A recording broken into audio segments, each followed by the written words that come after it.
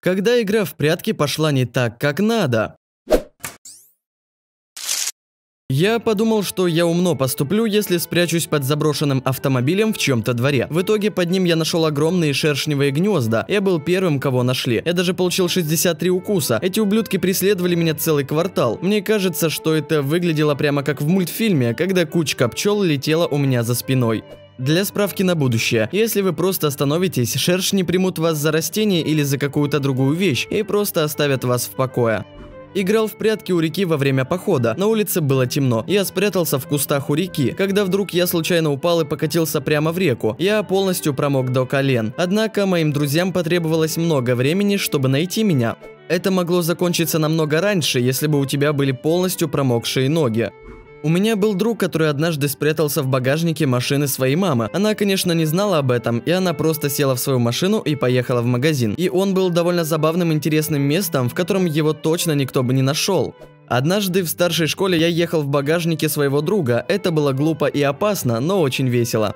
О, у меня есть действительно хорошая история, которая связана с прятками. Но это не случилось со мной, а с моим другом, но я тогда играл вместе с ним. Так что, думаю, я могу рассказать вам о том, что тогда произошло. Когда мне было примерно 8 лет, я был на дне рождения у дочери моего соседа. У нас были общие друзья, и один из них, назовем его Тоби, на самом деле был не самым умным ребенком. Да, мы все не были очень умными, но он однажды взял пирог, на котором была мертвая оса, а затем он ходил и удивлялся, почему его рот распух. Как бы это ни было, дочь моего соседа тогда бросила нам вызов поиграть в прятки. Для контекста, они жили на ферме, которая была не самой маленькой, поэтому было достаточно места, чтобы спрятаться. Но чтобы не затягивать игры, мы все договорились прятаться только в сарае и на основном участке, а не на лугу за ним.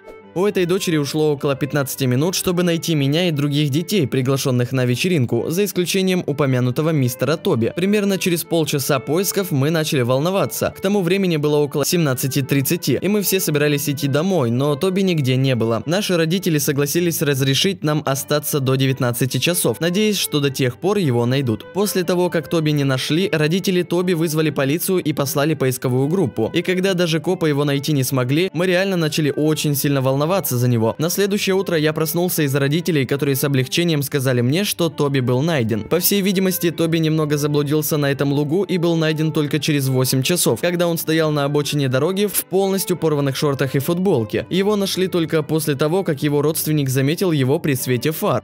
А, и кстати, я уже говорил вам, что Тоби был впервые в том районе и вообще не знал, где и что там находится. Мы все еще друзья, и по сей день, даже 18 лет спустя, и всякий раз, когда мы напиваемся или нам становится действительно скучно, мы вспоминаем эту историю и просто смеемся над ней. И, кстати, помните, я сказал вам, что он был довольно глупым ребенком? Так вот, теперь у него есть степень магистра машиностроения. Я так рад, что эта история закончилась хорошо, иначе моя жизнь была бы другой сейчас. Самая недооцененная история в этом трейде.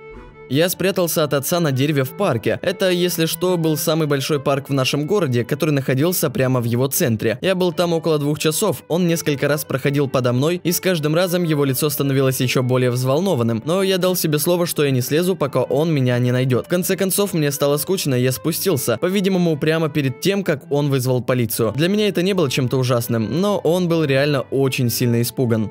Моя подруга спряталась в ящике под моей кроватью. Я нашел ее, когда решил вытащить тот ящик. Когда она двинулась вперед, чтобы выбраться из него, ящик перевернулся и лезвие упало на мой большой палец ноги. Перенесемся на 6 часов вперед, когда я уже был в отделении скорой помощи, и мне воткнули горячую иглу в ноготь на пальцы ноги, чтобы снять давление крови, скопившейся за ногтем. Да, из моего пальца нереальным напором полилась кровь. И, кстати, через неделю или две у меня отвалился ноготь на ноге, что было довольно круто. Нам было по 8 лет.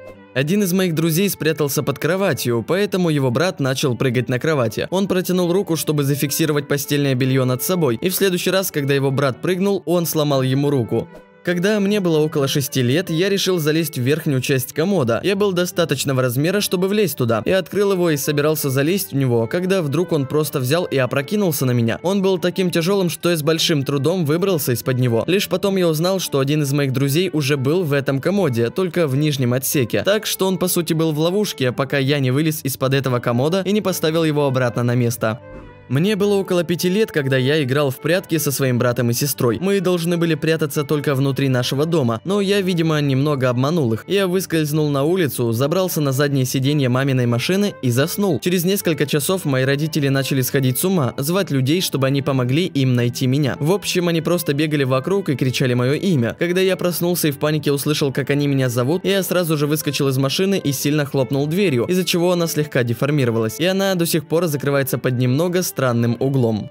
У моего профессора, кстати, тоже была похожая история, лол. Его отец был опытным юристом в Детройте, и он часто преследовал членов местной мафии. Однажды летним днем, когда моему профессору было около 7 лет, он решил, что ему надо пойти на работу со своим отцом, и поэтому он решил спрятаться на заднем сиденье его машины. Наверное, он был уверен, что его отец не разрешит ему пойти с ним на работу. Когда они приехали на работу, он ничего не сказал и продолжил тихонько скрываться в машине, пока его отец не вышел из машины и не пошел в офис. Пару часов спустя его мама начала начала сильно паниковать, потому что она не могла его нигде найти. Из-за профессии его отца это вызвало реально искреннее беспокойство. Его мама была практически на 100% уверена, что их сына похитила банда каких-то преступников, которые связаны с мафией. Между тем, у моего профессора также случился сильный тепловой удар, так как это было лето, и он сидел в машине, где температура была реально высокой. К счастью, отец нашел его, когда он возвращался к машине после того, как ему позвонила его жена. Делая покупки с моей пятилетней дочерью, она без моего ведома убежала от меня и спряталась за вешалкой для одежды. Она все время стояла рядом со мной, поэтому я быстро понял, что она пропала, и я начал сильно волноваться и выкрикивать ее имя. Работники магазина сразу поняли, что произошло, и поэтому они решили закрыть магазин, чтобы моя дочь точно не убежала куда-то. именно в тот момент, когда работники магазина начали говорить через громкоговоритель, предупреждая покупателей о пропаже моей дочери, она выбежала и побежала ко мне. Когда она подбежала ко мне, она первым делом сказала мне «Привет, папа, папочка, извини, я забыла тебе сказать, что я играла с тобой в прятки. Это было очень смешно и неловко одновременно. Мы с двумя моими друзьями играли в прятки, и я с одним парнем должен был прятаться. Он забрался на дерево, на которое я помог ему взобраться, а потом я пошел прятаться. Когда я убегал, я услышал «Арррр» и обернулся, чтобы посмотреть, что случилось. Как оказалось, он упал с того дерева и полностью содрал с него его кору. Я и парень, который должен был искать нас, сразу же бросились ему на помощь.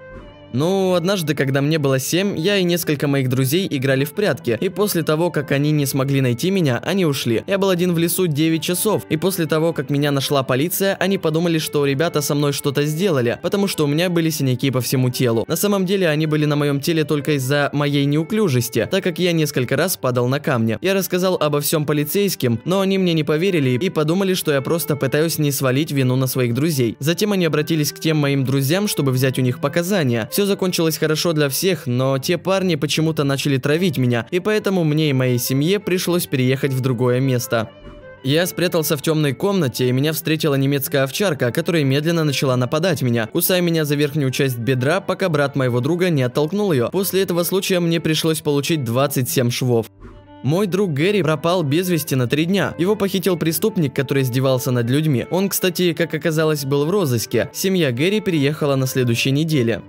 Когда я был маленьким, мы с моей сестрой и мамой играли в прятки. Сестре было около 5 лет, а мне было около 11 лет. Она схватила меня и сказала, что нигде не может найти маму, и попросила меня пойти с ней в ванную, чтобы найти ее, а затем она протянула мне фонарик. Я завернула за угол, прежде чем войти в душевую. Когда я уже был готов к тому, чтобы зайти в душ и найти там свою маму, я посветил ванну, в которой, кстати, было очень темно, и нашел свою маму. Когда она поняла, что я ее нашел, она сразу закричала. Я очень сильно испугался и просто убежал. Да, с тех пор я больше не играл в прятки.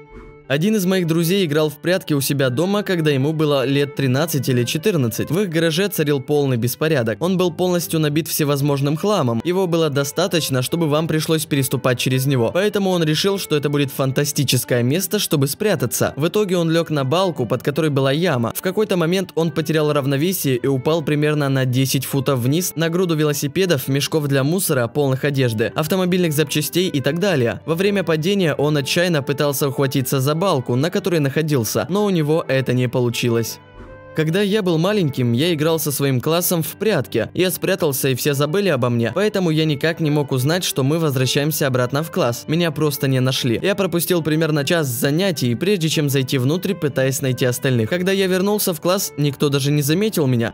Я так долго прятался, что мне уже надоело, и я просто вышел. Прошло минут 10. Не знаю, как многие могут играть в эту игру и так долго сидеть в своих укрытиях. Ну а на этом видео заканчивается, и если видосик тебе понравился, обязательно ставь лайк и подписывайся на канал. А вот, кстати, рандомный комментарий из предыдущего выпуска. Но если ты тоже хочешь попасть в видос, обязательно оставляй любой комментарий, и, возможно, именно ты попадешь в следующий выпуск. Удачи!